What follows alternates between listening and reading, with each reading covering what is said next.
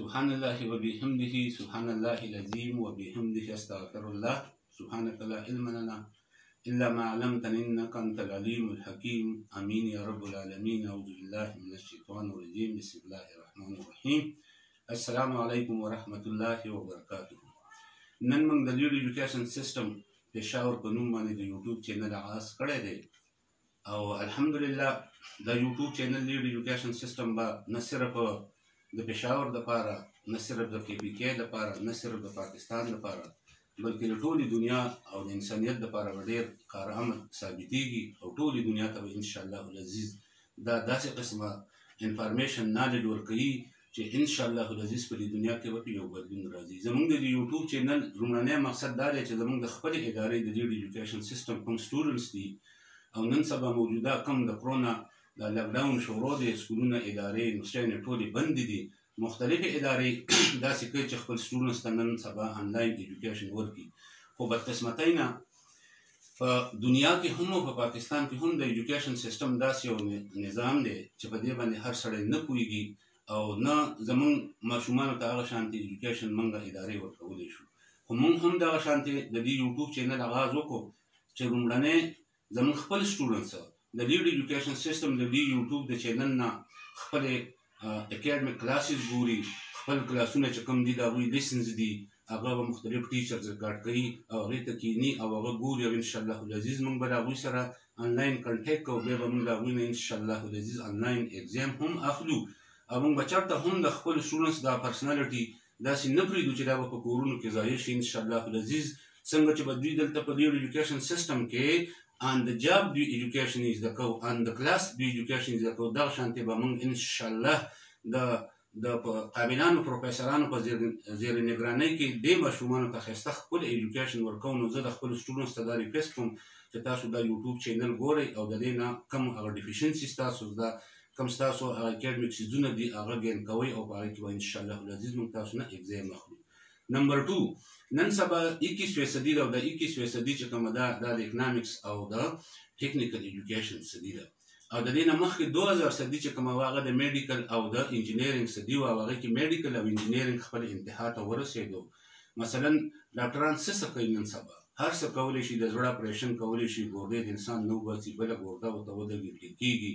دا شان انجینرینګ هم انتها ته ورسېده نن سبا ساینسدانانو چې کوم دی د بدقسمتۍ نه د دنیا د ورانېدلو لپاره ایټم بم جوړ کړی دی الخالې ټانک یې جوړ کړی دی جهازونه یې جوړ کړي دي او نن سبا خو تاسو ته ښکاره ده چې د کرونا دا وبا په ټوله دنیا باندې عام ده بل ورځ ماته یو پروفیسور صاحب ویلې چې سرجی دا بایولوژیکل وار دی په دنیا کې روان دی ملک دا بایولوژیکل وار دی او کدا د خدای پاک د طرف نه عذاب دی که ارس دی خو یې انسان موږ لا په دې باندې پوهېدل پکار دي او یې انسان موږ لا د دې نه بچ کېدل پکار دي نو ما ورته دا وویل چې دې بایولوژیکل وار دې میډیکل او دې انجینیرینګ په اټم بم جوړ کړو د دنیا د ورانېدلو سوچ یې وکړو دنیا د سوځېدلو سوچ یې وکړو دې میډیکل خو بایولوژیکل وار ته تیار دي په زړونو لکونو انسانان مړه کړل او لګې دي وژني نو دې ته ترقي نشم ویلی لهذا زه به هم د دې یوټیوب د چینل نه د ټولې دنیا چې کم کرایسیس دی موجوده چې هغې دنیا ته ډېر خفګان جوړ کړی دی انسانان یې نفسیاتي طور بیماران کړي دي او په دې ټکي باندې تاسو شور او کلیر اوسئ دوه قسمه مسلې دي یو په دنیا کې معاشي مسله ده خو د دې معاشي مسلې په وجه باندې په دنیا کې نفسیاتي مرضونه ډیر زیات شوي دي مثلا 98% خلک نن سبا غ نفسیاتي بیماران دي هغه ولې نفسیاتي بیماران دي هغه داسې نفسیاتي بیماران دي معاشي پرابلم دي دا غوي د چا نوکرین نشته دي چا سره پیسې نشته دی د چا ایډوکیشن نشته دی هسپتال صحیح نه دی نظام تعلیم صحیح نه دی معاشي حالت صحیح نه دی سوشل چین نشته لیډرشپ نشته په پاکستان کې نشته اسلامي دنیا کې نشته مغربي دنیا کې نشته انسانیت په عذاب باندې دی دې طرف ته په خدای پاک طرف نه زمونږ د خپل نه لاس داسې عذابونه مثلا کرونا نن سبا په دنیا باندې نافذ ده د دې د ټولې دنیا معاشیت برباد کو سپیشلی د پاکستان معاشیت خراب کو نشته داسې لیډر په دنیا کې چې د دې لپاره سوچ وکړي او په دې یوټیوب چینل باندې به ان شاء الله دا ټولې مسلې چې زمونږ تعلیمي نظام ولې خراب دی هغه څنګه پکار دی او هغه به موږ سم کوم قسم پیدا راکړي زمونږ د ملک د پاکستان د لپاره کوم معاشي نظام پکار دی چې هغه به زمونږ ملک خسته کوي په ټولي دنیا کې به خسته کوي او ټولي دنیا له څه کول پکار دی انډیا له څه کول پکار دی امریکا له څه کول پکار دی افغانستان له څه کول پکار دی انسانیت له څه پکار دی او د ټولي دنیا لیډرانو له څه کول پکار دی زه په یقین سره دا خبره نن کوم که د ټولي دنیا لیډران دا غواړي چې د ټولې دنیا انسانان دې خسته شي مثلا موږ دا ونه وو چې دا مسلمان دی دا هندو دی دا کرسچن دی دا يهودي دی او موږ دا غواړو چې د ټولې دنیا مسلمانان او انسانیت دې خسته شي نو زه دا شورټي ورکوم په ستا مستدي کوم چې دا خسته کیږي د هر سړي سره به ګاړی د هر سړي به جاب وي هر سړي څه به کور وي د هغه به واده وي هغه به نفسیاتي مریض نه وي هغه ښایسته ښکلی انسان یو هغه د معاشرې دپاره کار کوي او دا دنیا به ښایسته شي انشاءالله العزیز په دې یوټیوب چینل باندې به موږ داسې قسمه لیکچرې راوړو چې هغه به د دنیا د لیډرشپ دپاره هم ضروري هغوی ته به دې هم انشاءالله العزیز عقل زده کولی شي زموږ سټوډنټس به ترې ډېر ښایسته عقل زده کوي عام انسان به هم ترې ډېر ښایسته عقل زده کوي زموږ معاشره کې د دې قسمه څیز پوهه نشته دی تر څو پورې حدیث مبارک دی چې په لسو کې نهه حصې رزق دا چې کوم دی په حلال کاروبار کې دی تاسو یقین وساتئ دا یکیس فیصدي ده په دې اکیس فیصدۍ کې هر ملک دا کوښښ کوي چې زه په معاشي مخکې شم خو داسې یو نیګټیو سوچ کوي چې معاشي مخکې شم خپل ځان دوه سوه کاله محفوظ کړم خو چې بل انسان وږی کړم زه ورته وایم چې خپل ځان هم دوه سوه کاله محفوظ کړم ما هم محفوظ کړه داسې لار شته داسې اسلام داسې معاشیت شته دی چې هغه اسلام ښودلی دی داسې ښایسته ښکلی معاشیت شته دی چې د ټولې دنیا انسانان به ورسره ښایسته شي خو کاش چې زموږ په دنیا کې لیډرشپ نشته زموږ په پاکستان کې لیډرشپ نشته د لیډرشپ مقصد څه تاسو ته پته شته د لیډر یو جوړه جامې دا یو جوړه سپلې دا په مخ باندې خنده یا غس یو خسته پلاني ماشي پلاني چې دا زموږ ماشي پلان دی هغه سره تعلیمي پلاني چې دا زموږ تعلیمي پلان دی هغه سره د صحت پلاني هغه سره د سوشل چین پلاني او دا په ملک کې چې کم انسانان دی هغه خسته او هغه انسانان دا غس مینه کوي هغه رانیسي هغه خپلې داسې قسمه لیډر موږ په دنیا کې لیدلی نه دی ان شاء الله العزیز د نن نه هم سلسله وار لیکچرز به د لیډ ایجوکیشن سیستم په یوټیوب چینل باندې راځي په هغه کې به موږ تاسو ته دا درخایو چې زموږ د ملک نظام څنګه پکار دی زموږ د ملک تعلیم نظام څنګه پکار دی د معاشیت نظام بدقسمتۍ نه په دې باندې څوک نه پوهیږي تاسو یقین وساتئ چې کله تاسو چرته خبرونه تکینې او خبرونه ګورئ او کمرشل نیوز راشي هر سړی ته پاسي ځکه تی پاسی چې هغه نه پوهیږي چې دا څه دي په مثلا په سټاک ایکسچانج مې 500 کمپنیو کې شیئرز کا کاروبار هو جس مې 200 مې تیز او 200 مې مندي رہی باقي 100 مې جو کتو رہا په دې باندې خلک څه پوهیږي معاشي نظام باندې خلک نه پوهیږي د قران په نظام نه پوهیږي موږ به دا کوشش کوو چې تاسو د ملک په دې نظام باندې پوه کړو چې معاشیت څه ته وایي اسلام څه ته وایي زموږ دا څیزونه څنګه پکار دي زموږ د ملک به ښایسته شي باقي کرونه ده په دنیا باندې وبا ده راغلې ده د دې وبا نه د بچ کېدو لپاره موږ ټول قام له ښایسته کېدل پکار دي، زموږ له په مخ باندې خندا راوستل پکار دي، موږ له په اودس کې ګرځېدل پکار دي، موږ له ماسک اچول پکار دي. ان شاء الله العزیز زه ټول پاکستاني قام ته دا وایم، زه د ټولې دنیا انسانیت ته دا وایم، دا کرونا ختمېدل او د پاکستان معشیت به ښایسته وي، خو به شرط د دې چې زموږ لیډران په خپل منځ کې راغونډ شي او انا پرستي ختمه کړي. دا یاد ساتئ، د لیډر ملک مقصد وي. ایا زموږ د ملک د لیډرانو که د ملک مقصد وي، نو ټول به په یو ټېبل باندې کېني، ټول دې راغونډ شي زه دا شورټي ورکوم چې راروان پنځه کاله کې زمونږ ملک د دنیا ښایسته ملک جوړېدی شي یو داسې معاشي نظام به یو داسې اصلاحي ملک به یو داسې فلاحي ملک به چې په هغې کې به هر ماشوم خوشحاله یو ښایسته نظام تعلیم وي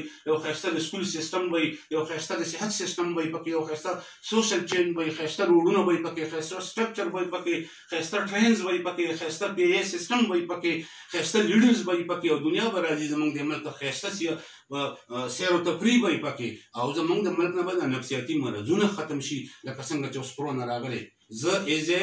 ارشاد ټول قام ته دا ویل غواړم چې مخه پکې تاسو په داس کې اوسئ درود شریف وای یو بل ته د جدا نه سلام کوئ او یو بل ته سر کته کوئ د دې ادب نه ماسک لګوئ او دعا د شپې خدای پاک ته وجاړئ یو لس دس منټه خدای پاک موږ باندې ډېر خفه کیږي همیشه چې مام د خدای پاک نه څه غوښتي دا خدای پاک کړي دي تاسو هم د خدای پاک نه ښایسته ښایسته سوالونه وکړئ د بل د پاره وغواړي د ملک د پاره وغواړي ګوره دا هم یاد وساتئ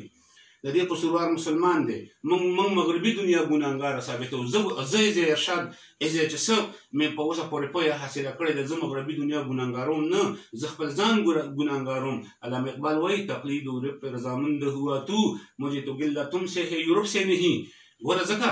هغوی خو مظلومان دي مغربي دنیا خو مظلومان دي چې په اسلام نه پوهېږي چې په قرآن نه پوهېږي او مسلمانان نه دي خدای پاک به دې تپوس کوي موږ له دا پکار دي چې موږ په اسلام باندې پوه شو ځان دومره ښایسته کړو خپل ملک ښایسته کړو خپل اسلامي دنیا ښایسته کړو چې هغوی موږ ته وګوري او هغوی ته هم دا ښایسته نظامي تعلیم د اسلام ور ورسوو هغوی هم ښایسته شي که چېرته دا کار موږ ونه کړو خدای پاک به هغوی تپوس هم زموږ نه زمونږ نه کوي نو په دې وجه زه هغوی ته مظلومان ویم او مونږ ظالمان یو مونږ به دا ځال داسې ختمو مونږ به په اسلام ځان پوهه کوو په معاشیت به ځان پوهه کوو اوس بجټ وته دی دوه هزار بیس خلک وایي د خسر دا بجټ دی او دا وشو او دا وشو دا یاد ساتئ دا ښه بجټ نه دی چې نوم یې په خساره کې راشي دا ښه بجټ نه دی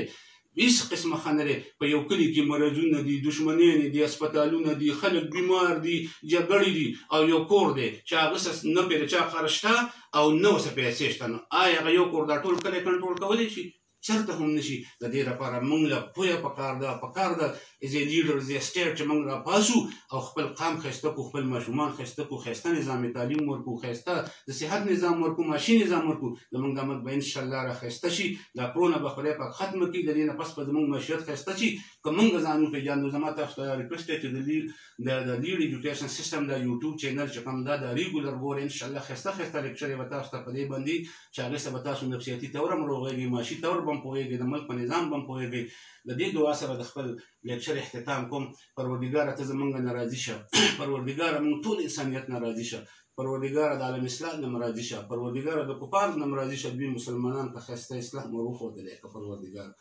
پروردګار د دنیا نه د کرونه دا مرض ختمه که دا یره ختمه که پروردګار پروردګار دا که ستا د طرف نه پر انسان د طرف نه پروردګار خپل رحم و کرم دا ختم که پروردګار خانه کعبه ستا کور دی دا برحنه مو له تا حفاظت ورکړی پروردګار خپل عبادت پکې شروع کړه په خپل حفاظت وکړه د مسجد نبوي عبادت شروع کړه پروردګار په خپل حفاظت وکړه پروردګار د قرآن او د اسلام حفاظت وکړه د انسانیت حفاظت وکړه دا وبا یې ختمې کړه پروردګار رزق فراخ کړه د انسانیت پروردګار زمونږ دې ملک پاکستان له اسلامي نظامي حکومت راوستی که په دې باندې خدای د عمر فاروق په شان یو ښایسته لیډر مونږ له راکه پروردګاره پروردګار کشمیر کې د مسلمانانو مدد وکړه ازادي ورته نصیب کړه پروردګار په افغانستان کې د مسلمانانو مدد وکړه فلسطین کې د مسلمانانو مدد وکړه بیت المقدس آزاد کړه پروردګار په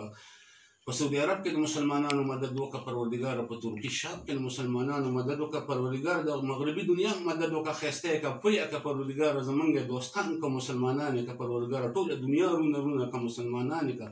پروردګار یو بل څخه خواږه کا پروردګار د کائنات د په انسانان باندې مرحم وکړه په کائنات مرحم وکړه په جناور باندې مرحم وکړه پروردګار د رحمت بارانونه وره ولې کا پروردګار د رحمت بارانونه وره کا وره ولې کا پروردګار څوک چې بیماران دي هغه روح کا پس پروردګار څوک چې وفات شوی دي هغه وبخه پروردګار جنتونه یې نصیب کا پروردګار چا چې دښمنی یې په دوستانو کې بدلې کا پروردګار څوک چې قرضدار یې د قرضونو نه خلاص کا پروردګار زموږ د عمل لیډران په خپل منځ کې رون ارونه کا پروردګار د ټول دنیا لیډران په خپل منځ کې رون ارونه کا پروردګار موږ ته خپل دیدار را نصیب کا پروردګار موږ ته خود نبی کریم صلی الله علیه وسلم دیدار را نصیب کا